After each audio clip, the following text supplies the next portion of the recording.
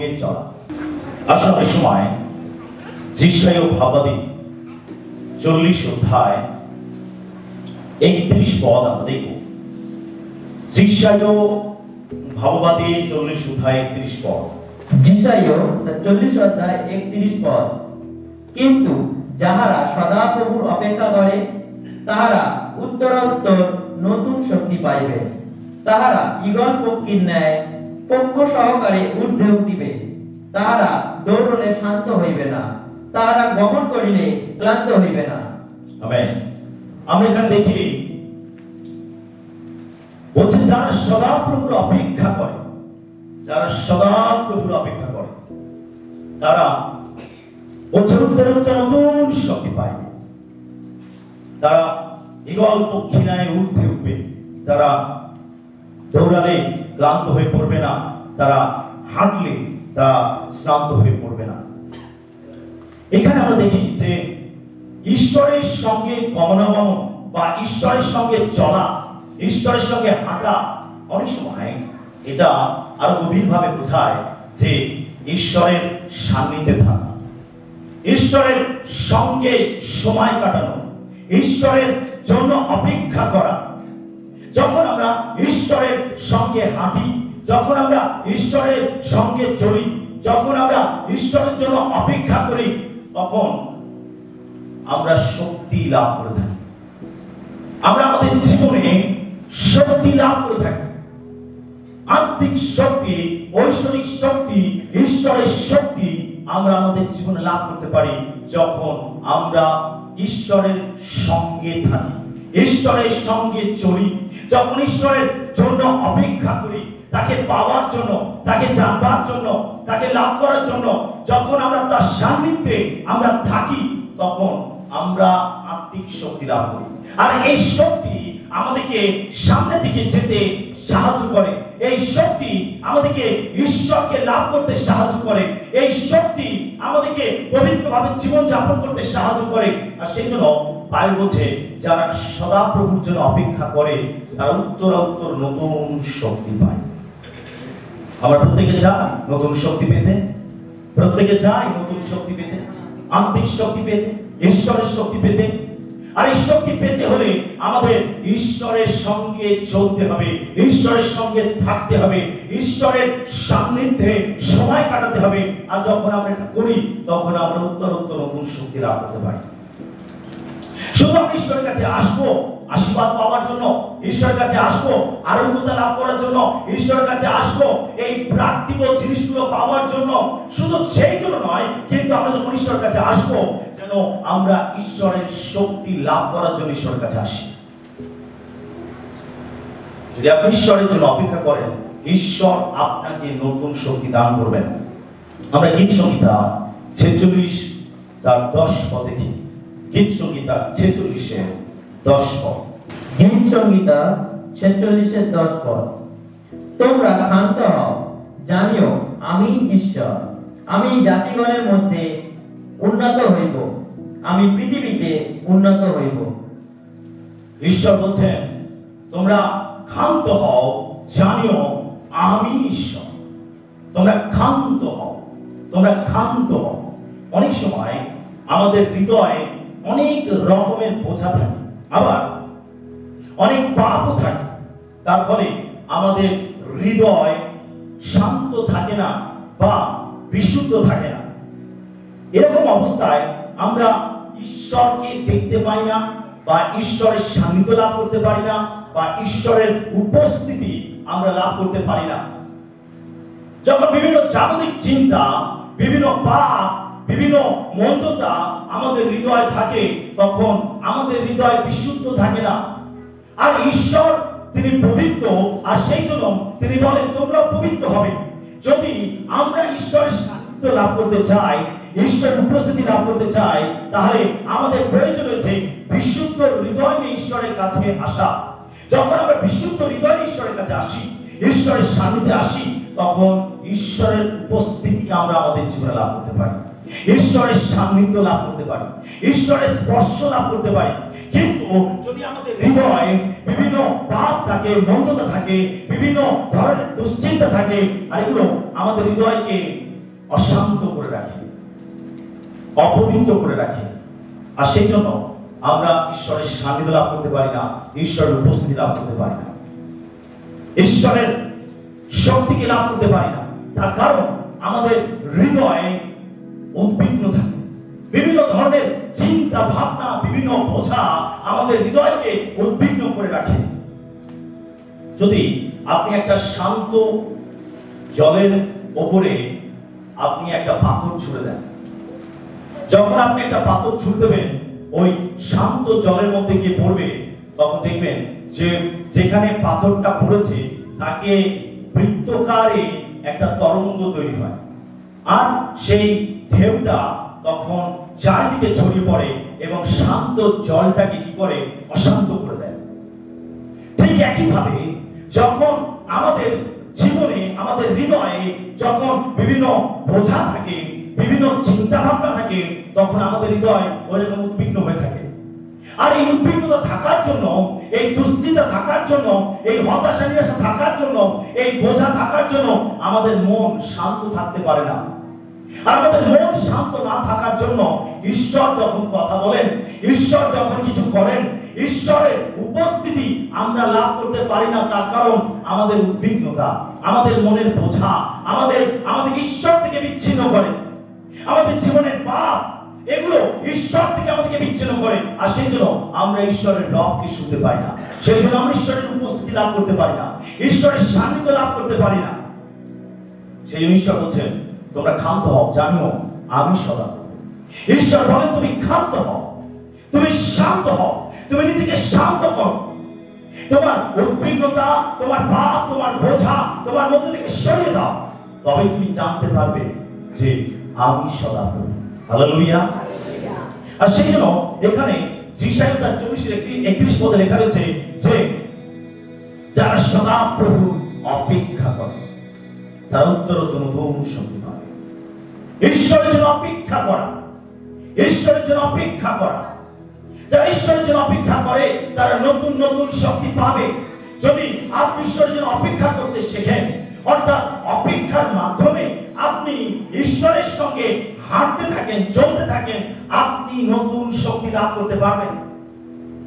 যদি আমরা চাই নতুন শক্তি লাভ করতে, তাহলে আমাদের প্রয়োজন রয়েছে শান্ত হৃদয় নিয়ে ঈশ্বরের সান্নিধ্যে অপেক্ষা এটা এক ধরনের চলা ঈশ্বরের সঙ্গে হাঁটা, ঈশ্বরের সঙ্গে গমনাগমন করা, ঈশ্বরের সান্নিধ্যে সময় কাটানো, ঈশ্বরের সান্নিধ্যে থাকা। আর যারা এটাকে করে, তারা উত্তরোত্তর নতুন শক্তি পাবে। যদি আপনি চান আপনার আত্মিক জীবনে শক্তি লাভ করতে, যদি আপনি চান ঈশ্বরীয় পথে সঠিকভাবে চলতে, যদি আপনি চান ঈশ্বরের ঈশ্বরের সেবা করতে, তাহলে আপনাকে ঈশ্বরের সঙ্গে হাঁটতে হবে, ঈশ্বরের সঙ্গে চলতে হবে। অর্থাৎ অপেক্ষা করার মাধ্যমে ঈশ্বরের সঙ্গে থাকা ঈশ্বরের সঙ্গে চলা। আপনি যখন ঈশ্বরের জন্য অপেক্ষা করেন তখন হয়তো হয়তো আপনার আপনার দেহ এক জায়গায় স্থির থাকে আপনার মন এক জায়গায় স্থির থাকে কিন্তু আপনি আত্মাতে ঈশ্বরের সঙ্গে হাঁটতে থাকেন। বুঝতে পারছি সকলে? আমেন। হালেলুয়া। হালেলুয়া। আমরা সুসমাচার চোদ্দ অধ্যায় দুই পদটা দেখি লিখিত সুসমাচার চোদ্দ অধ্যায় দুই পদ। আমার পিতার বাটিতে অনেক বাসস্থান আছে। যদি না থাকিত বলিতাম কেননা আমি তোমাদের জন্য স্থান প্রস্তুত করিতে যাইতেছি। এখানে যিশু বলছেন, আমার পিতার বাড়িতে অনেক বাসস্থান আছে। কি বলছেন? আমার পিতার বাড়িতে কি আছে? অনেক বাসস্থান আছে। বাসস্থান মানে অনেক ঘর আছে। যদি না থাকতো তাহলে তোমাদেরকে বলতাম প্রিয় বিশ্বাস, যখন আমরা ঈশ্বরের জন্য অপেক্ষা করি, যখন আমরা ঈশ্বরের সঙ্গে আত্মাতে গমনাগমন করি, আত্মাতে আমরা হাঁটি, তখন ঈশ্বর তার ঘরেতে আসেন ঈশ্বর তার ঘরেতে আসেন ঈশ্বর তার ঘরেতে আসেন এবং তিনি তার ঘরেতে এসে তিনি তার উপস্থিতি তার সন্তানদেরকে দান করেন। যখন আমি ঈশ্বর জন্য অপেক্ষা করি, তখন ঈশ্বর তার ঘরেতে আসেন। অর্থাৎ আমরা যখন ঈশ্বরের সান্নিধ্যে প্রার্থনায়, প্রশংসায় আমরা সময় কাটাই, যখন আমরা তার সান্নিধ্য লাভ করার জন্য তার দিকে তাকিয়ে থাকি, তার জন্য অপেক্ষা করি, তখন ঈশ্বর তার ঘরেতে আসেন। তিনি যখন তার ঘরেতে আসেন, তখন তিনি তার উপস্থিতি, তার সন্তানদেরকে দান করেন। হালেলুয়া হালেলুয়া তিনি তার সন্তানদেরকে তার উপস্থিতি দেন। যিশু বলছেন আমার পিতার বাড়িতে অনেক বাসস্থান আছে, অনেক ঘর আছে। এখানে আরেকটা অর্থে আমরা দেখি, বাসস্থান বলতে বোঝায় অনেক অনেক স্তর।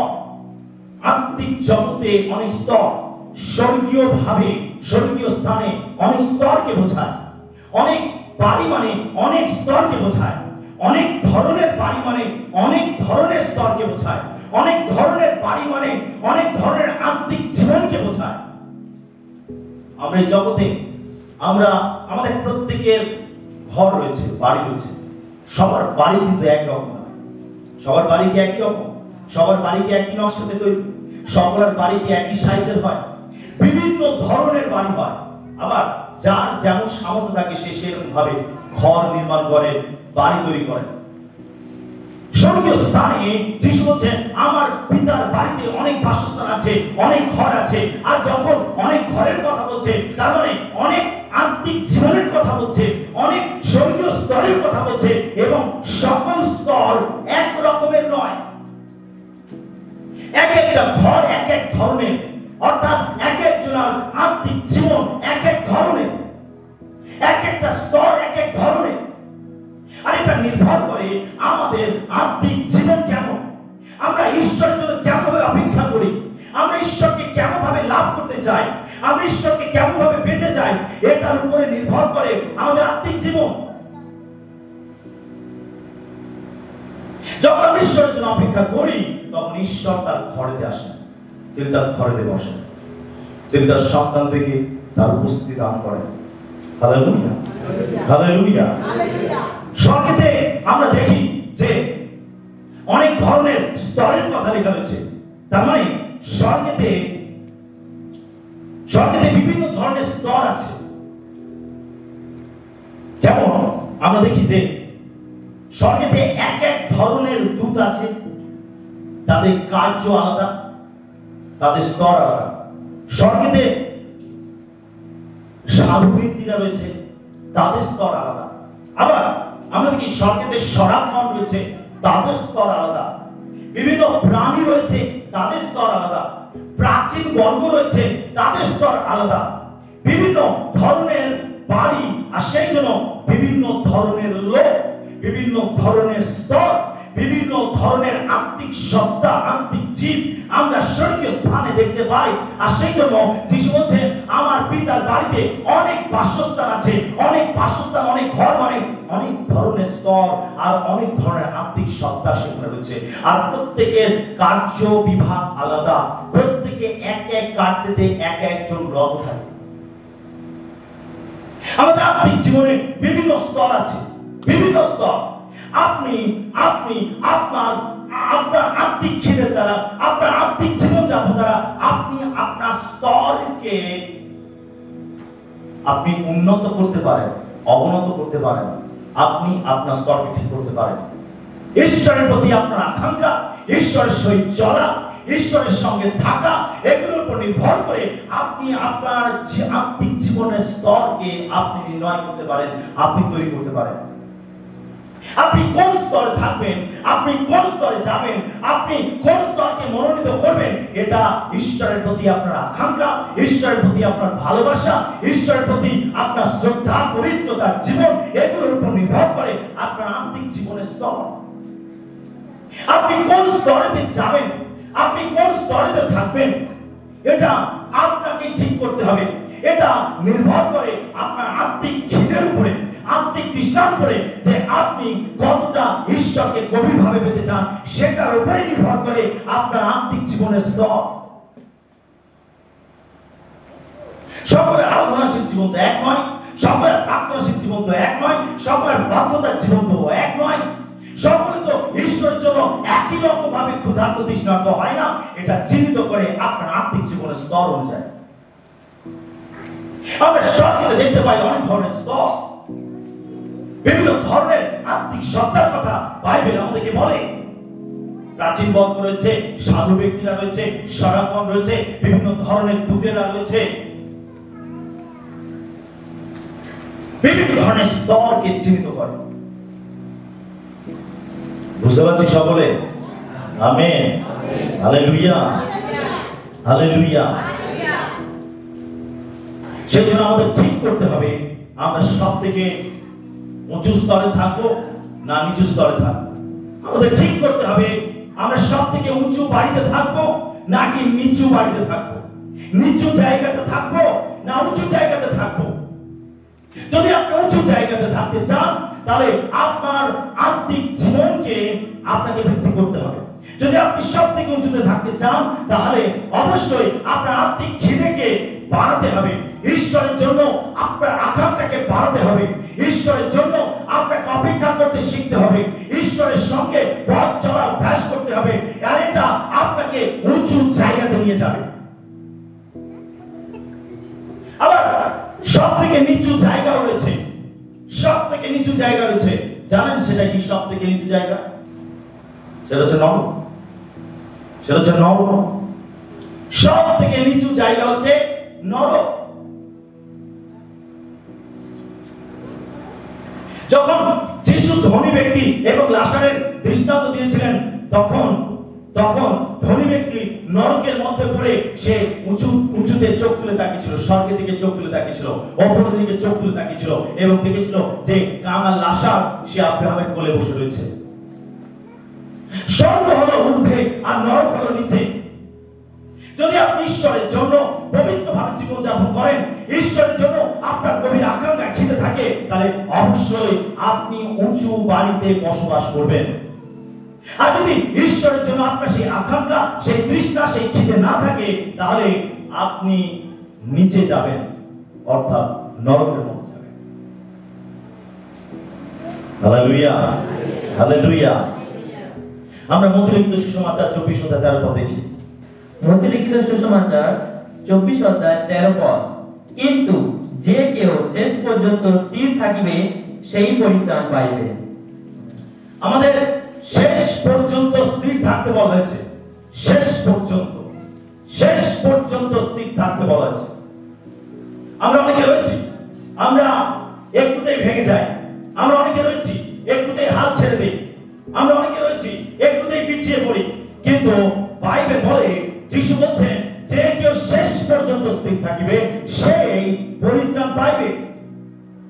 শেষ পর্যন্ত পরিত্রাণকে ধরে থাকতে হবে, শেষ পর্যন্ত। মাঝ পথ পর্যন্ত নয়, বা পরিত্রাণ পেয়ে শেষ না করতে পারা, কিন্তু শেষ পর্যন্ত স্থির থাকতে বলা হয়েছে। আপনি পরিত্রাণ পেয়ে আপনি আপনি মাঝপথ থেকে আপনি হাত ছেড়ে দিলেন। আপনি যিশুকে বিশ্বাস করে, যিশুকে গ্রহণ করে আপনি মাঝপথ থেকে চলে আসলেন। আপনি কিছুদিন পরে আপনি হাল ছেড়ে দিলেন। এটা করতে বারণ করছে। আমাদেরকে শেষ পর্যন্ত স্থির থাকতে বলা হচ্ছে। শেষ পর্যন্ত। অর্থাৎ জীবনের শেষ নিঃশ্বাস পর্যন্ত আমাদেরকে স্থির থাকতে বলা হচ্ছে। শেষ নিঃশ্বাস পর্যন্ত। এই নয়, কিছুদিন আসলাম প্রভুতে, কিছুদিন প্রার্থনা করলাম, কিছুদিন প্রভুর জন্য জীবনযাপন করলাম কিছুদিন মন্ডলীতে আসলাম আর কিছুদিন আমি প্রভুর সঙ্গে সময় কাটালাম। না ভাবি বলছে শেষ পর্যন্ত। এটা কয়েকদিনের ব্যাপার নয়। কয়েকটা মাসের ব্যাপার নয়। কয়েকটা বছরের ব্যাপার নয়। কিন্তু যিশু বলছেন, শেষ পর্যন্ত। আপনার পরিত্রাণকে ধরে রাখতে হবে শেষ পর্যন্ত। আপনাকে স্থির রাখতে হবে শেষ পর্যন্ত। যতদিন আপনার দেহেতে নিঃশ্বাস প্রশ্বাস চলছে, আর সেই সময় পর্যন্ত আপনাকে প্রভুতে স্থির থাকতে হবে। কিন্তু আমরা অনেক আছে মাঝপথ থেকে আমরা পিছু কান নেই। মাঝপথ থেকে আমরা পিছনে ফিরে যাই। কিছু সমস্যা করলে, কিছু পরীক্ষা আসলে, কিছু বিপর্যয় আসলে আমরা হাল ছেড়ে দিই। কিন্তু যিশু বলছেন, শেষ পর্যন্ত স্থির থাকে হালেলুয়া হালেলুয়া। আপনি আপনার জীবনে এটা প্রতিজ্ঞা করুন বারবার নিজেকে এটাকে বোঝান যে হে আমার প্রাণ, তোমাকে শেষ পর্যন্ত স্থির থাকতে হবে। নিজেকে বোঝান যে আমাকে শেষ পর্যন্ত পৌঁছাতে হবে। শেষ নিঃশ্বাস পর্যন্ত আমার পরিত্রাণকে আমাকে রক্ষা করতে হবে। এটা হচ্ছে সঙ্গে চলা জীবনের শেষ দিন পর্যন্ত স্থির থাকা মানে জীবনের শেষ দিন পর্যন্ত প্রভুর সঙ্গে চলা, প্রভুর সঙ্গে হাঁটা। হালেলুয়া। কি প্রভুর জন্য চলবো শেষ পর্যন্ত? তারা শুধু রবিবার সকাল হলে ধার্মিক ব্যক্তি হয়ে যাবে রবিবার সকাল হলে পবিত্র ব্যক্তি হয়ে যে সময়টুকু চার্চে থাকব, সেই সময়টুকু শুধু আমি একজন ধার্মিক ব্যক্তি হব। তারপরে আর প্রভুর সঙ্গে কোনো যোগাযোগ নেই। যখন বিপদ ঘটবে, সমস্যা আসবে, তখন প্রভুর কাছে আসব। যে সমস্যার সমাধান হয়ে যাবে, ঠিক আছে, আবার যখন পরীক্ষা আসবে, তখন আসব প্রভু তোমার কাছে। ততদিন পর্যন্ত একটু এনজয় করি। জগতের মধ্যে সময় কাটাই। একটু বন্ধুদের সঙ্গে আড্ডা মারি। আরে, একটু নিজের ইচ্ছাকে পূর্ণ করি।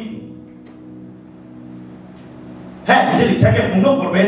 কিন্তু যেটা বাইবেল ভিত্তিক নয়, যেটা বাইবেল আমাদেরকে পালন করে, ঈশ্বরের বাক্য আমাদেরকে পালন করে, যদি আপনি সেই ইচ্ছাগুলোকে পূর্ণ করেন, তাহলে আপনি ঈশ্বরের ভিত্তিতে পাপ করবেন। আমাদের শেষ পর্যন্ত স্থির থাকতে হবে। আমরা এই প্রিয়তার চার তেরো পথ দেখি। এই প্রিয়তার চার তেরো পথ। ইব্রিয় চার অধ্যায় তেরো পদ আর তাহার সাক্ষাতে কোন সৃষ্ট বস্তু অপ্রকাশিত নয়, কিন্তু তাহার চক্ষু গোচরে সকলেই নগ্ন ও অনাবৃত রইয়াছে, যাহার কাছে আমাদিগকে নিকাশ দিতে হইবে।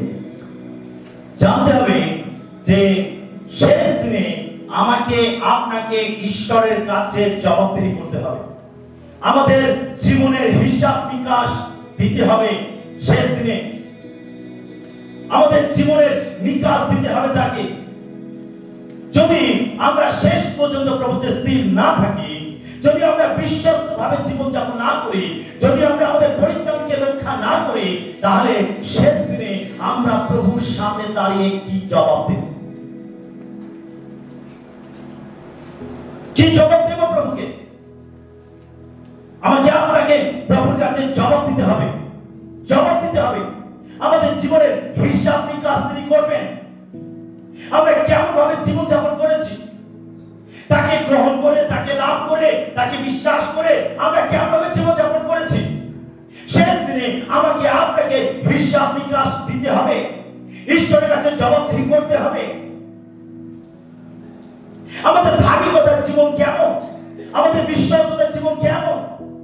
আমরা কেমন ভাবে প্রভুর সঙ্গে হাঁটছি? কেমন ভাবে প্রভুর সঙ্গে চলছি? কেমন কেমন ভাবে প্রভুর সঙ্গে গমনাগমন করছি?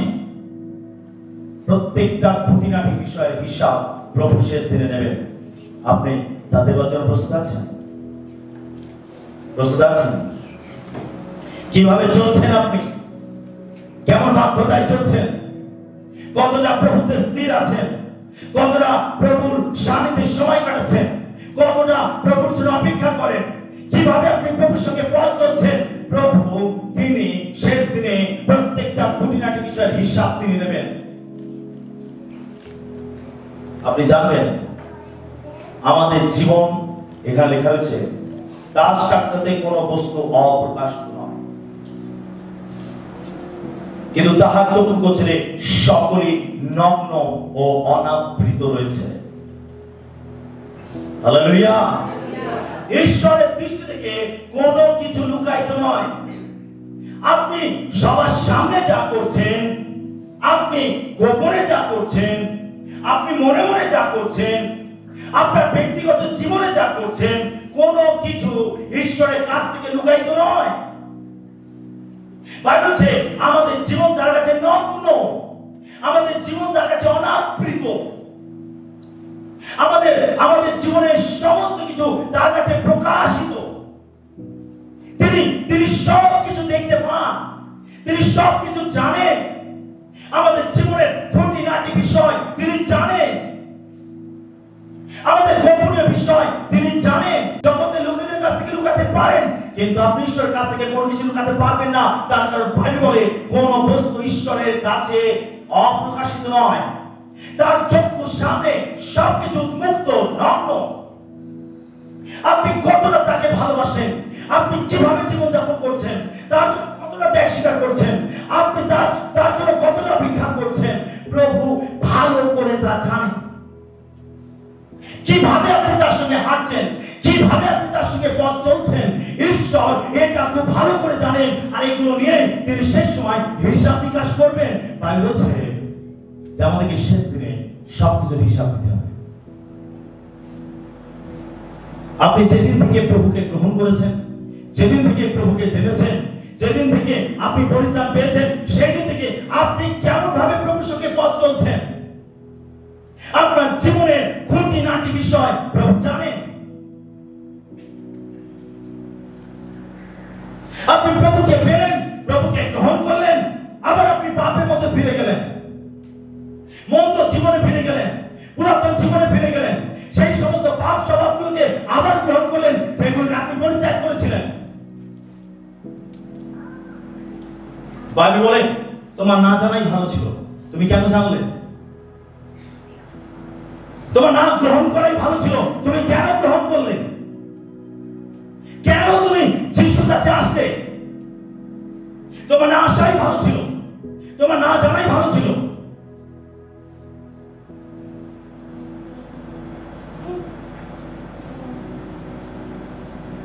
যে গৃহের নির্মাণের গৃহ কাজ আপনি শুরু করেছেন, যদি সেই কাজকে আপনি সমাপ্ত করতে না পারেন, তাহলে ওটা কি হাস্যকর ব্যাপার হবে না? আপনি অল্প দেওয়াল তুলে আপনি ফেলে রাখলেন বছর পর বছর বছর পর বছর। ওটা কি হাস্যকর হবে দেখো, ইনি গৃহ নির্মাণ করার জন্য কাজ তো শুরু করলেন, কিন্তু গৃহকে সমাপ্ত করতে পারলেন না। এটা কি আপনার কাছে লজ্জাজনক বিষয় হবে না? আপনি যে পরিত্রাণকে গ্রহণ করেছেন, আপনি যে জীবনকে লাভ করেছেন প্রভুর কাছ থেকে, যদি আপনি শেষ পর্যন্ত স্থির থাকতে না পারেন, তাহলে আপনার এই জীবনের কোনো মূল্য নেই।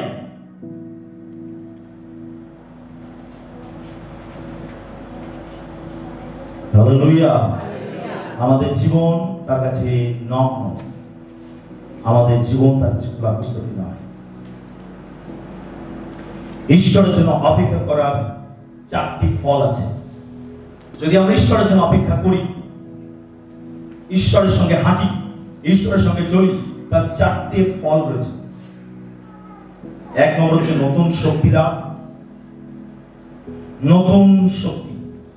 নতুন শক্তি। সকালে বলি, নতুন শক্তি। নতুন শক্তি। আমরা কেউ একই রকম থাকতে চাই। চাই কি? এই পার্থিব জগতে একই রকম থাকতে চাই আমরা কি চাই? আমরা চাই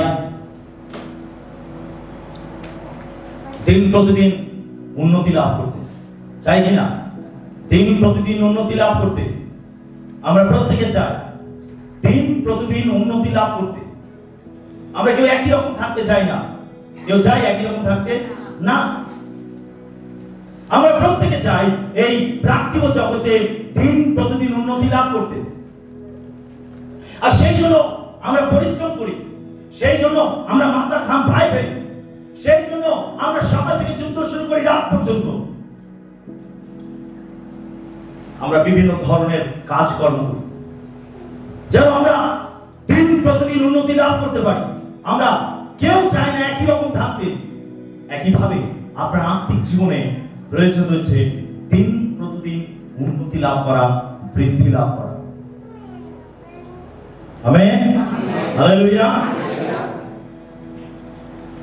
যদি আপনি ঈশ্বরের জন্য আপনার আকাঙ্ক্ষা না থাকে খিদে না থাকে, আগ্রহ না থাকে, তাহলে আপনি কখনো আত্মিক জীবনে বৃদ্ধি লাভ করতে পারবেন না। যদি আপনি ভাবেন এই বেশ ঠিক আছে, একটু চার্চে আসলাম একটু উপাসনায় যোগ দিলাম একটু প্রার্থনা নিলাম একটু প্রার্থনা করলাম এই হলেই চলবে।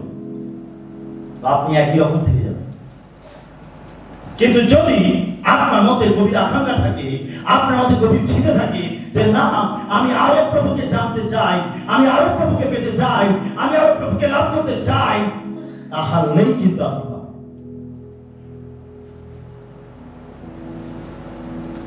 যদি আপনি প্রভুর জন্য অপেক্ষা করেন, আপনি নতুন শক্তি লাভ নতুন শক্তি লাভ করবেন। নতুন শক্তি। দিন প্রতিদিন আপনার আত্মিক স্তর পরিবর্তন হবে। দিন প্রতিদিন আপনি আত্মিক ভাবে উচ্চ পর্যায়ে যাবেন। আর এটা ঈশ্বর চান, যেন আপনি ঈশ্বরের কাছ থেকে নতুন শক্তি লাভ করতে পারেন। আপনি প্রার্থনা করতে পারতেন না।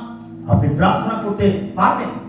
আপনি কীভাবে আরাধনা করতে হয়, প্রশংসা করতে হয়, আপনি জানতেন না, আপনি প্রশংসা করবেন। কীভাবে ঈশ্বরের সান্নিধ্য লাভ করতে হয় আপনি জানতেন না, আপনি তা জানবেন।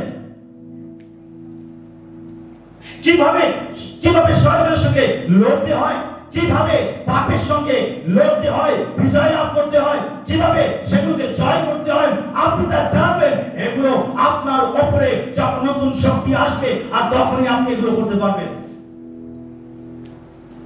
আর সেটা আমাদের প্রয়োজন হচ্ছে নতুন শক্তি হালেলুয়া হালেলুয়া নতুন শক্তি। এক হচ্ছে নতুন শক্তি। দুই হচ্ছে ইগল পক্ষীর ন্যায় ঊর্ধ্বে ওঠা। ইগল পক্ষী ঊর্ধ্বে ওঠা। তিন হচ্ছে ক্লান্ত না হওয়া। চার হচ্ছে শ্রান্ত না হওয়া। ক্লান্ত না হওয়া, শ্রান্ত না হওয়া। চারটে ফল রয়েছে, যদি আমরা ঈশ্বরের জন্য অপেক্ষা করি বা ঈশ্বরের সঙ্গে আমরা গমন গমন করি, চারটে ফল আমরা লাভ করতে পারি। নতুন শক্তি ইগল দক্ষিণ একক্ষ সহকারে ঊর্ধ্বে ওঠা, দৌড়ালে ক্লান্ত না হওয়া আর হাঁটলে শ্রান্ত না হওয়া। এই চারটে ফল আমি ঈশ্বরের কাছ থেকে লাভ করতে পারি। নতুন শক্তি নতুন শক্তি বলতে বোঝায় শক্তির আদান প্রদান। নতুন শক্তিকে গ্রিক শব্দে বলা হয় রেনিউ বা এক্সচেঞ্জ। রেনিউ বা এক্সচেঞ্জ। গ্রিক শব্দের অর্থ হচ্ছে রেনিউ বা এক্সচেঞ্জ, যার অর্থ হচ্ছে শক্তির পরিবর্তন। যার অর্থ হচ্ছে শক্তির পরিবর্তন। শক্তির পরিবর্তন। যখন আমি ঈশ্বরের কাছে এসে অপেক্ষা করি, ঈশ্বরের সঙ্গে হাঁটি, ঈশ্বরের সঙ্গে চলি, ঈশ্বরের সান্নিধ্যে থাকি, তখন শক্তির পরিবর্তন হয়। তিনি আমাদের দুর্বলতাগুলো তুলে নেন, আর তার শক্তি তিনি আমাদেরকে দান করেন। যখন আমি ঈশ্বরের সান্নিধ্যে আসি, ঈশ্বরের জন্য অপেক্ষা করি, ঈশ্বরের সঙ্গে হাঁটি, তখন ঈশ্বর আমাদের দুর্বলতাগুলো তুলে নেন, আর তিনি তার শক্তি আমাদের জীবনে ঢেলে দেন। যখনই আপনি ঈশ্বরের কাছে আসেন আপনি জানবেন যে আপনি নতুন শক্তি নিয়েই ফেলেন হালেলুয়া! নতুন আশীর্বাদ নিয়ে ফেলেন নতুন অনুগ্রহ নিয়ে ফেলেন তার কারণ আমি ঈশ্বরের কাছে যখন আসি তখন এক্সচেঞ্জ হয়। দেখবেন অনেক জিনিসপত্র রয়েছে আহ, যারা যে সমস্ত দোকান শোরুম রয়েছে দেখবেন এক্সচেঞ্জ অফার দেয় তাই না? তাই তো? পুরাতন টিভি দিন আর নতুন টিভি নিয়ে যান। পুরাতন গয়না দিন, নতুন গয়না নিয়ে যান। পুরাতন ফ্রিজ দিন, নতুন ফ্রিজ নিয়ে যান। পুরাতন গাড়ি দিন, আর নতুন গাড়ি নিয়ে যান। এক্সচেঞ্জ অফার থাকে। ঈশ্বরের কাছে এসেও আমরা এক্সচেঞ্জ করতে পারি। হালেলুয়া ঈশ্বরের কাছে এসেও আমরা এক্সচেঞ্জ করতে পারি। আপনি ঈশ্বরের কাছে যখন আসেন, আপনার পুরাতন জীবন প্রভুকে দিন, আর নতুন জীবন আপনি তার কাছ থেকে লাভ করুন। আপনার দুর্বলতাগুলো প্রভুকে দিন, আর প্রভুর কাছ থেকে আত্মিক শক্তি আপনি লাভ করুন। আমরা প্রভুর কাছে যখন আসি, তখন আমরা একই রকম থাকি না। এক্সচেঞ্জ হয়, শক্তির আদান প্রদান ঘটে। আপনি কি সেই মনোভাব কি প্রভুর কাছে আসেন? আজকে আমি নতুন শক্তি বহিত হব। আপনি কি সেই মনোভাব নিয়ে আসেন? আজকে আমি এক্সচেঞ্জ করব। আমি নিজেকে রিনিউ করব। আপনি কি সেই মনোভাব নিয়ে প্রভুর কাছে আসেন? যখন সকালে প্রভুর কাছে আসেন, আপনি কি সেই মনোভাব নিয়ে আসেন? আজকে আমি আমার দুর্বলতাগুলো প্রভুকে দেব আর প্রভুর শক্তি আমি আমার জীবনে লাভ করব। আজকে সকালে আমি যখন ঈশ্বরের কাছে যাচ্ছি, ঈশ্বরের গৃহে যাচ্ছি ঈশ্বর উপাসনা করতে যাচ্ছি, তখন আমি ঈশ্বরের কাছ থেকে নতুন শক্তি নিয়ে ফিরব। এই মনোভাব নিয়ে আমরা প্রভুর কাছে আসি। নাকি আমাদের কোনো আমাদের কোনো টার্গেট থাকে না, আমাদের কোনো উদ্দেশ্য থাকে না, আমাদের কোনো লক্ষ্য থাকে না, আমাদের কোনো ইচ্ছা থাকে না। ও যেতে হয় তাই যাই নিয়ম পালন করার জন্য। আপনি নিয়ম পালন করার জন্য প্রভুর কাছে আসেন আপনি নিয়ম পালন করার জন্য ঈশ্বরের গৃহেতে আসেন আপনি নিয়ম পালন করার জন্য প্রার্থনায় আসেন। না নিয়ম পালন করার জন্য নয় আপনাকে ঈশ্বরের কাছে আসতে হবে যেন আপনি এসে নতুন শক্তি পরিত হতে পারেন। সেই জন্য প্রভুর কাছে আপনাকে আসতে হবে। Hallelujah hallelujah. ঈগল পাখি এখানে যিশায় ভারতী চল্লিশ একত্রিশ পদে ঈগল পক্ষী ন্যায় সহকারে উঠে উঠবে। ঈগল পাখির সঙ্গে তুলনা করা হয়েছে। ঈগল পাখি সব থেকে উঁচুতে ওড়ে সব থেকে উঁচুতে। সব থেকে উঁচুতে, সমস্ত পাখি থেকে সব থেকে উঁচুতে ওড়ে ঈগল পাখি। তার উঁচুতে ওড়ার রহস্য হচ্ছে তার পাখনা। তার পাখনা এত বড় এবং এত শক্তিশালী, সেই পাখনা দ্বারা সে সব থেকে উঁচুতে ওড়ে। কিন্তু অনেক সময় যখন তার পাখনার পালকগুলো নষ্ট হয়ে যায়, তখন তার প্রয়োজন হয় সেই পালকগুলো বোঝানো তার প্রয়োজন হয় নতুন শক্তি। তার পালকগুলো যদি দুর্বল হয়ে যায়, তাহলে সে তার শক্তি হারিয়ে ফেলে। সব থেকে উঁচুতে ওড়ার শক্তি সে হারিয়ে ফেলে। সে কি করে? ওই শক্তিকে ফিরে পাওয়ার জন্য সে একেবারে পর্বতের উপরে বসে। পর্বতের উপরে বসে সে তার পাখাটাকে মেলে অপেক্ষা। সূর্যের দিকে তাকিয়ে সে অপেক্ষা করে।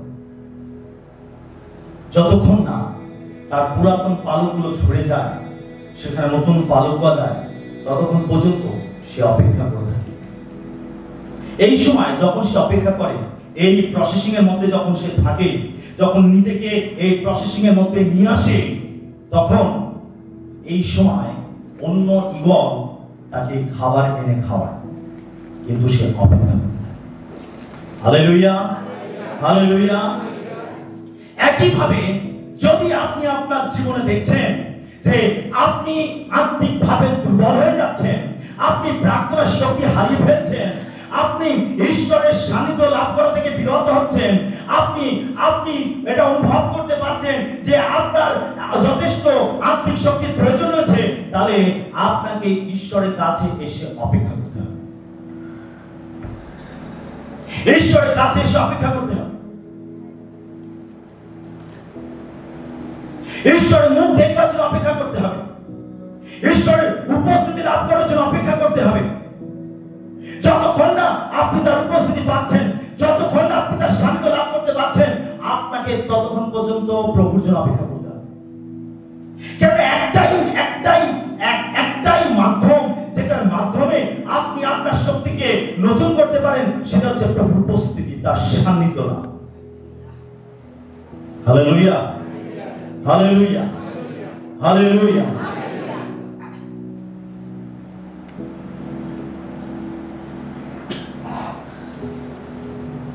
আপনি কি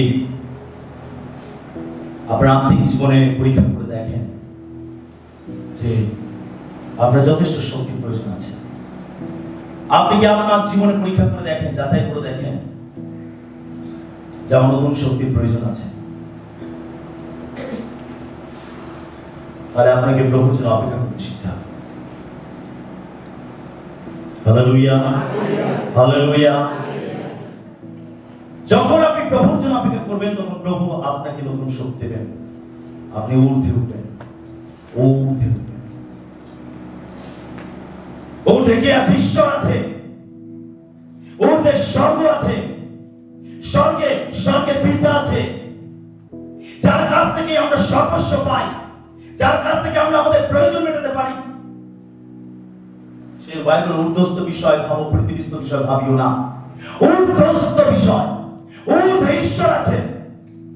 সেই জন্য যিশু শিশু প্রার্থনা করতে শিখেছিলেন, হে আমাদের স্বর্গীয় পিতা, হে আমাদের স্বর্গস্থ পিতা স্বর্গস্থ পিতা মানে স্বর্গে অবস্থিত পিতা, যিনি স্বর্গে বিরাজ করেন, স্বর্গ হলো ঊর্ধ্বে। আপনি পক্ষ সহকারে ঊর্ধ্বে উঠবেন, অর্থাৎ আপনি ঈশ্বরের সান্নিধ্য লাভ করবেন। যখন আপনি নতুন শক্তি পাবেন, তখন আপনি ঊর্ধ্বে উঠবেন। এই নতুন শক্তির দ্বারা আপনি ক্লান্ত হবেন না, শ্রান্ত হবেন না। আপনার জীবনে প্রত্যেকটা পরীক্ষার উপরে আপনি বিজয় লাভ করবেন। শয়তানের আক্রমণের উপরে বিজয় লাভ করবেন। আপনি পাপের উপরে বিজয় লাভ করবেন। যদি না আপনার জীবনে নতুন শক্তি থাকে। আমাদের আর্থিক জীবনে নতুন শক্তির প্রয়োজন রয়েছে। নতুন স্তর মানে আপনার জীবনে নতুন চ্যালেঞ্জ আসবে। একই রকম পরীক্ষা আপনার জীবনে ঘটবে না। যখন আপনার স্তর চেঞ্জ হবে, তখন নতুন পরীক্ষা আপনার জীবনে আসবে। যখন ছেলেমেয়েরা স্কুলে পড়াশোনা করে, তখন তারা যখন একটা একটা করে ক্লাসে উত্তীর্ণ হয়, তখন কিন্তু তাদের পড়াশোনার চাপ বাড়ে, তাদের পড়াশোনার স্ট্যান্ডার্ড বাড়ে এবং তাদের প্রত্যেক বছর কিন্তু ক্লাস অনুযায়ী তাদের কঠিন পরীক্ষাও দিতে হয়। ক্লাস ওয়ানে যে পরীক্ষা ক্লাস টুয়েলভে সে পরীক্ষা হবে না। ক্লাস ফাইভে যে পরীক্ষা ক্লাস টেনে তো একই রকম পরীক্ষা হবে না।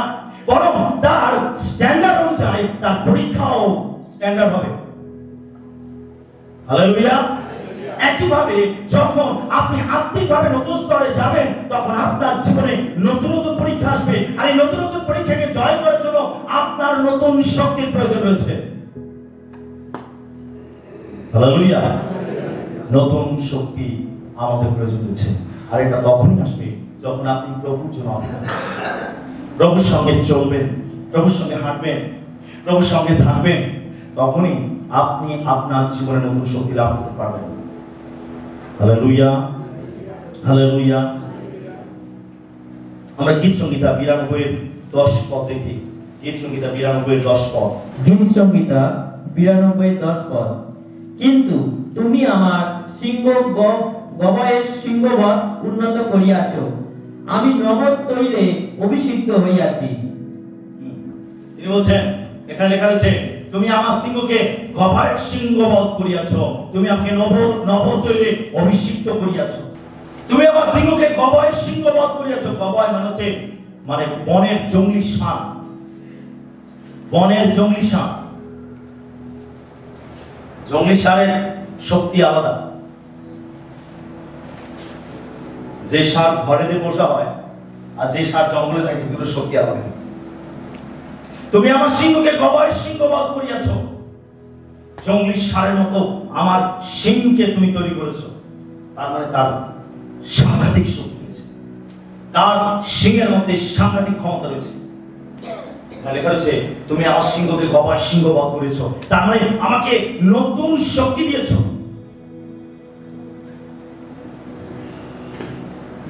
তুমি আমার সিংহকে নবতৈল অভিষিক্ত করেছ। এখানে তেল হচ্ছে পবিত্র আত্মার প্রতীক চিহ্ন এবং অভিষেকের কথা এখানে লেখা রয়েছে। যখন আমরা ঈশ্বরের কাছে আসি, ঈশ্বরের সান্নিধ্যে সময় কাটাই, ঈশ্বরের সঙ্গে আমরা পথ চলি, তখন তিনি আমাদেরকে নতুন শক্তি দেন। তিনি আমাদেরকে অভিষেক করেন। তার পবিত্র আত্মা দিয়ে আমাদেরকে পূর্ণ করেন। তিনি আমাদের দুর্বলতাগুলো নিয়ে তার শক্তিতে আমাদেরকে ভরে দেন। দাউদ বলছে, তুমি আমার সিংহকে গবাই করেছ, আমাকে তুমি নবতৈল অভিষিক্ত করেছ। আমাদের প্রয়োজন নবতৈল অভিষিক্ত হওয়া। আমাদের প্রয়োজন রয়েছে নতুন নতুন অভিষেক পাওয়া। আমাদের জীবনে প্রয়োজন রয়েছে আত্মিক শক্তিকে বৃদ্ধি করা। এখানে অভিষেক বলতে শুধু আত্মিক অভিষেককে বলা হচ্ছে না, কিন্তু অভিষেক বলতে আপনার আপনার দেহ প্রাণ আত্মাকে সুস্থ করার কথাও বলছে। যখন ঈশ্বরের সঙ্গে থাকি, ঈশ্বরের থাকি, তখন শুধু যে আমরা আত্মিকভাবে আশীর্বাদ যুক্ত হই তা নয়, কিন্তু আমরা শারীরিক ভাবেও আমরা আশীর্বাদ লাভ করি। জাগতিক ভাবেও আমরা আশীর্বাদ লাভ করি। এই অভিষেক যে শুধু আমাদের আত্মিক জীবনকে প্রভাবিত করে তা নয়, কিন্তু তার সঙ্গে সঙ্গে আমাদের এই অভিষেকের প্রভাব আমাদের প্রাপ্তিব জীবনের উপরে পড়ে।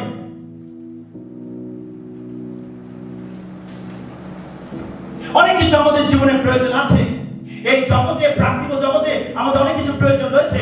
যখন ঈশ্বর অভিষেক আমাদের উপরে আসে, তখন তার প্রভাব শুধু যে আমাদের আত্মিক জীবনে পড়ে তা নয়, কিন্তু প্রাকৃতিক জীবনেও তার প্রভাব পড়ে।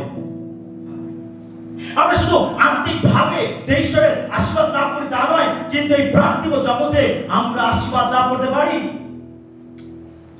শারীরিকভাবে, মানসিকভাবে আত্মিকভাবে আমরা সুস্থতা লাভ করতে পারি এবং জাগতিকভাবে আমাদের প্রয়োজন মেটাতে পারি যখন আমাদের উপরে ঈশ্বরের অভিষেক আসে। হালেলুয়া। যখন শৌল শৌল, সে তার বাবার হারিয়ে যাওয়া কাদা খুঁজতে খুঁজতে সময়ের কাছে পৌঁছেছিল, তখন সময়েল ঈশ্বর সময়কে বলেছিলেন যে, একজন আসবে আর সে তার বাবার কাদা হারিয়ে গেছে খুঁজতে তুমি তার মাথায় তেল ঢেলে অভিষেক করবে, কারণ আমি তাকে ইসরায়েলের রাজা রূপে মনোনীত করেছি। যখন শৌল তার হারিয়ে যাওয়া, তার বাবার হারিয়ে যাওয়া কাঁথাগুলো খুঁজতে খুঁজতে সোমেল ভাবাদের কাছে এসেছিল, তখন সোমেল ভাবাদি কি করেছিল? তার সিংহতে তেল ভরে শৌলের উপরে ঢেলে দিয়েছিল। শৌল অভিষেক পেয়েছিল, ঈশ্বরের অভিষেক পেয়েছিল। যখন সে অভিষেক তার উপর এসেছিল, তখন সময় তাকে বলেছিল, তুমি ওই পর্বত থেকে নামতে নামতে তুমি তোমার ঈশ্বরের আত্মা তোমার উপরে আসবে, তুমি ভাবকটি প্রচার করবে এবং একজন লোক, দুইজন লোক আসবে, একজন তোমাকে রুটি দেবে, একজন তোমাকে দ্রাক্ষারস দেবে। যখন সৌর পর্বত থেকে নামছিল, তখন সৌমের ভাববাদের কথা অনুযায়ী তার সঙ্গে দুটো লোক সাক্ষাৎ করেছিল। একজন তাকে দ্রাক্ষরস দিয়েছিল আর একজন তাকে রুটি দিয়েছিল। সে ভাবক্তি প্রচার করেছিল। ভাবক্তি প্রচার মানে মনের ভাবকে প্রকাশ করা। ঈশ্বরের উদ্দেশ্যে মনের ভাবকে প্রকাশ করা, এটা হচ্ছে ভাবক্তি ঈশ্বরের আত্মা তোমার উপরে আসবে, তুমি ভাবক্তি প্রচার করবে এবং লোকেরা তোমাকে এসে তোমার প্রয়োজন মেটাবে, তোমাকে দেবে। তোমাকে রুটি দেবে, তোমাকে দ্রাক্ষরস দেবে, রুটি দ্রাক্ষরস হলো আশীর্বাদের চিহ্ন, জাগতিক প্রয়োজন মেটানোর চিহ্ন। আপনার অন্ন বস্ত্র বাসস্থান, আপনার অর্থনৈতিক প্রয়োজন, এগুলো মেটাবে ঈশ্বর। যখন আপনার উপরে অভিষেক নেমে আসবে, সেই অভিষেকের প্রভাবে আপনি প্রয়োজনগুলো মেটাবেন। অভিষেক শুধু আমাদের আর্থিক জীবনের কথা বলে না, কিন্তু তার সঙ্গে সঙ্গে এই প্রাকৃতিক জগতে আমাদের যেটা প্রয়োজন সেটাকেও হালেলুয়া যখন সৌরের উপরে ঈশ্বরের আত্মা নেমে এসেছিল, তখন সে শুধু ভাবকটি প্রচার করে থেমে যায়নি, বরং তার জাগতিক ভাবে যেটা প্রয়োজন ছিল, সেটাও সে মেটাতে পেরেছিল। কিন্তু আমরা অনেক কাছে এগুলো নিয়ে ভাবি না। আমাদের জীবন অভিষেক প্রয়োজন, আত্মিক অভিষেক প্রয়োজন, আমরা এগুলো নিয়ে ভাবি না। আমাদের জীবনে নবতৈলের প্রয়োজন, আমরা এগুলো নিয়ে ভাবি না। আমাদের জীবনে আত্মিক শক্তির প্রয়োজন, আমরা এগুলো নিয়ে ভাবি না। যখন অভিষেক আমাদের উপরে আসবে, তখন শুধু যে আমরা আত্মিকভাবে বলবান হব তা নয়, কিন্তু এই প্রাকৃতিক জগতে আমাদের যেটা প্রয়োজন, সেটাও আমরা মেটাতে যদি আপনি এটা গ্রহণ করতে পারেন, আমি বিশ্বাস করি আপনি আপনার জীবনে ঈশ্বরের আরও বেশি আশীর্বাদ দেখতে পাবেন। হালেলুয়া হালেলুয়া আমরা দ্বিতীয় বিবরণ চৌত্রিশে সাত পদ দেখি দ্বিতীয় বিবরণ চৌত্রিশ অধ্যায় সাত পদ। মরণকালে মসির বয়স একশত বিংশতি বৎসর হইয়াছিল। তাহার চক্ষু ক্ষীণ হই- হয় নাই ও তাহার তেজে হ্রাস হয় নাই। বাইবেল মোশের কত বয়স কত বছর বয়স হয়েছিল? একশত বিংশতি। একশো কুড়ি বছর বয়স হয়েছিল মোশে আর এই বয়সেও তার কি কি দুর্বল হয়নি চক্ষু ক্ষীণ হয় নাই ও তাহার তেজে হ্রাস হয় নাই। তার চক্ষু ক্ষীণ হয়নি। একশো কুড়ি বছর বয়সে মসিকে চশমা পড়তে হয়নি। একশো কুড়ি বছর বয়সে তার তেজ কমে যায়নি। তার স্বাস্থ্য তার স্কিন তার চামড়া গুটিয়ে যায়নি। জানেন এর কারণ কি? এর কারণ হলো বাইবেলে আমরা তিনজন ব্যক্তিকে দেখতে পাই যারা চল্লিশ দিন করে উপবাস করেছিল। একজন হলেন মসি, একজন হলেন এলিও আর একজন হলেন প্রভু যীশু খ্রিস্ট। যারা যারা সম্পূর্ণ বাইবেলের মধ্যে এই তিনজন ব্যক্তিকে আমরা দেখতে পাই যারা চল্লিশ দিন উপবাস করেছিল। এই তিনজনের মধ্যে আমরা মসিকে দেখতে পাই যিনি দুবার চল্লিশ দিন করে তিনি উপবাস করেছিলেন। দু দুবার তিনি ঈশ্বরের সান্নিধ্যে চল্লিশ দিন ধরে খাওয়া দাওয়া না করে পড়েছিলেন। ঈশ্বরের সঙ্গে তিনি হেঁটেছিলেন। ঈশ্বরের সঙ্গে তিনি সময় কাটিয়েছিলেন। ঈশ্বরের সান্নিধ্যে তিনি দীর্ঘ সময় অতিবাহিত করেছিলেন। তার জন্য অপেক্ষা করেছিলেন। আর সেই জন্য ভাই বলছে যে যখন মসি সেখান থেকে বেরিয়ে আসছিল, যখন ঈশ্বরের সান্নিধ্য থেকে বেরিয়ে আসছিল, তখন তার দেহ থেকে কি বেরোছিল তেজ, মুখ থেকে তেজ বেরোছিল জ্যোতি বেরোচ্ছিল। এত জ্যোতি বেরোছিল যে মানুষ তার দিকে তাকাতে পারছিল না। এই হ্যালোজিনটা দিকে, তুমি তাকাতে পারো না। যদি আমি হ্যালোজিনটার দিকে তাকাই আমি আপনাদেরকে দেখতে পাবো না, অন্ধ হয়ে। চোখ অন্ধকার হয়ে বলছে ইসরায়েলের লোকেরা মুখের দিকে তাকাতে পারছিল তার মুখ থেকে এমন জ্যোতি বেরোচ্ছিল। মসি কি করেছিল? একটা কাপড় দিয়ে তার মুখকে ঢেকে রেখেছিল। ঈশ্বর অভিষেক করে না তাতে তার প্রভাব কিন্তু প্রাকৃতিক দেহেতেও পড়ে। মসি ঈশ্বরের সান্নিধ্যে এত দীর্ঘ সময় কাটিয়েছিলেন ঈশ্বরের জ্যোতিতে তিনি ভরে গেছিলেন। ঈশ্বরের উপস্থিতিতে তিনি ভরে গেছিলেন। ঈশ্বরের আত্মাতে তিনি ভরে গেছিলেন। আর এর প্রভাব কিন্তু তার দেহের মধ্যে থেকে প্রকাশ পাচ্ছিল। জগতের লোকেরা ইসরায়েলরা তারা মসির মুখের দিকে তাকাতে পারছিল না। তার মসির মুখ থেকে জ্যোতি বেরোছিল তীক্ষ্ণ জ্যোতি। হালেলুয়া সেজন্য বাইবেল বলছে একশো কুড়ি বছর বয়সে তার চক্ষু ক্ষীণ হয়ে যায়নি তার তার জ্যোতি তার তেজ হ্রাস পায়নি। ঈশ্বরের সান্নিধ্যে থাকলে ঈশ্বরের সঙ্গে সময় কাটালে শুধু যে আমরা আত্মিকভাবে শক্তিযুক্ত হই তা নয় আত্মিকভাবে আশীর্বাদ যুক্ত হই শুধু তাই নয় কিন্তু আমরা শারীরিক ভাবেও আশীর্বাদ যুক্ত হই। হালেলুয়া শারীরিক ভাবেও আমরা আশীর্বাদ যুক্ত হই। আমি এই শেষ পথ করব মতি পাঁচের চোদ্দ পথ মতি পাঁচের চোদ্দ। মতি লিখিত সুসমাচার পাঁচ অধ্যায় চোদ্দ পদ। তোমরা জগতের দীপ্তি পর্বতের উপরে স্থিত নগর গুপ্ত থাকিতে পারে না। আরেকটি পথ পড়ব হেতোপদেশ কুড়ি সাতাশ হেতোপদেশ সাতাশ হিতোপদেশ কুড়ি অধ্যায় সাতাশ পদ। মনুষ্যের আত্মা সদা প্রভুর প্রদীপ। তাহা অন্তরে সমস্ত অন্তপুর তন্ন তন্ন করে। যিশু বলছেন তোমরা জগতের দীপ্তি আমরা কি জগতে? চলে বলি কি? আমরা জগতে কি? দীপ্তি মানে কি? জ্যোতি, আলো। দীপ্তি মানে হচ্ছে জ্যোতি বা আলো। আমরা জগতের আলো আমরা জগতের দীপ্তি। যদি আমরা জগতের দীপ্তি হই, যদি আমরা জগতে আলো হই, আমরা যদি জগৎকে আলো দিচ্ছি, জগৎকে আমরা জ্যোতি দিচ্ছি, তাহলে আমাদের জীবনে যথেষ্ট পরিমাণে তেল প্রয়োজন আছে। এখানে হিতোপদেশে লেখা রয়েছে যে মনুষ্যের আত্মা সদাপ্রভুর প্রদীপ। আমাদের আত্মা সদাপ্রভুর কি? প্রদীপ। প্রদীপ জ্বালাতে গেলে কিসের প্রয়োজন হয়? তেলের প্রয়োজন। যদি তেল প্রদীপে না দেন, সেই প্রদীপ কিন্তু জ্বালাতে পারবে না। আমরা জগতের আলো, আমাদের আত্মা সদাপ্রভু প্রদীপ। আমরা জগতের আলো যিশু কি বলছে? তোমরা জগতে আলো। আর আমাদের আত্মা সদাপ্রভু কি? প্রদীপ। আমাদের ভেতরে চলছে প্রদীপ, ভেতরে রয়েছে প্রদীপ, আর তার আলো আমাদের জীবন থেকে প্রকাশিত হচ্ছে। আমাদের আত্মাতে যথেষ্ট তেলের প্রয়োজন আছে। যদি আপনি তেল না ঢালেন আপনি আপনার প্রদীপকে জ্বালাতে পারবেন না। আমাদের প্রদীপকে জ্বালাতে গেলে আমাদের তেলের প্রয়োজন হচ্ছে তেল চিহ্নিত করে ঈশ্বরের আত্মাকে তেল চিহ্নিত করে পবিত্র আত্মার অভিষেককে তেল চিহ্নিত করে ঈশ্বরের শক্তিকে। যদি সেটা আমাদের জীবনে না থাকে তাহলে আমরা আমাদের জীবন দ্বারা কোনো আলো প্রকাশ করতে পারব না এই জগতে।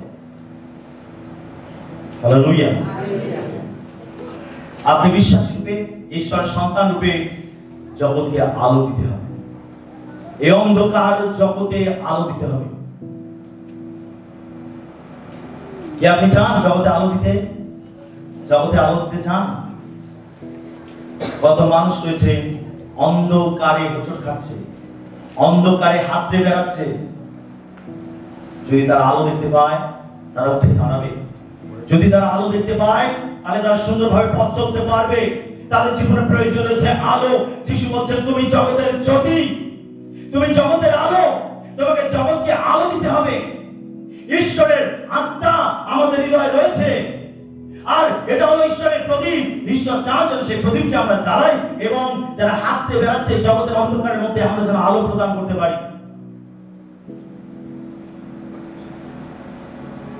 সেই জন্য আমাদের ঈশ্বরের সান্নিধ্যে অপেক্ষা করতে হবে, যেন আমরা তার উপস্থিতি, তার শক্তি, তার তেল আমরা আমাদের জীবনে লাভ করতে পারি, যেন আমরা জগৎকে আলো করতে পারি যারা সদা প্রভু যেন অপেক্ষা করে, তার উত্তর নতুন শক্তি পাবে।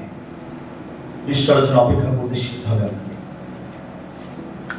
ঈশ্বরের জন্য অপেক্ষা করার অর্থ, ঈশ্বরের সঙ্গে চলা, ঈশ্বরের সান্নিধ্যে থাকা ঈশ্বরের সঙ্গে গমনাগমন করা। যখন আমরা এগুলো করব তখন আমরা নতুন শক্তি লাভ করব। আমরা ঊর্ধ্বে উঠব। আমরা শ্রান্ত হব না ক্লান্ত হব না। হেরে যাব না আমরা। আমরা বিজয় নিশ্চিত করব আমাদের জীবনে। আমেন। হালেলুয়া। ঈশ্বর তার বাক্য আমাদেরকে আশীর্বাদ।